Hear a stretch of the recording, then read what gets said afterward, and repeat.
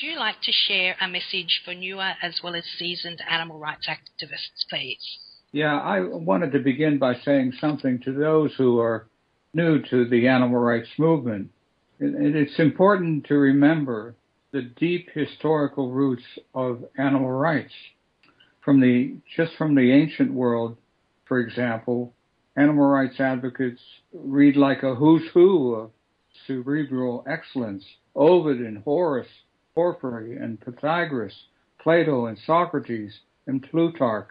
When you join the animal rights movement, those of you who are recently active, you reach across the centuries and clasp the hands of the best minds from the ancient world. To my mind, that's always been an inspirational thought, which is why I hope activists new to the animal rights movement will keep that thought in mind.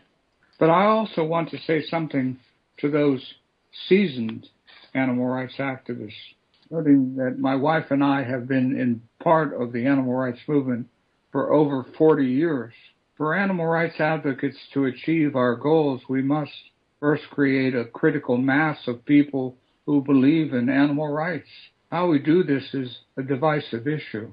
Different people think differently. But that we must do this is not a divisive issue.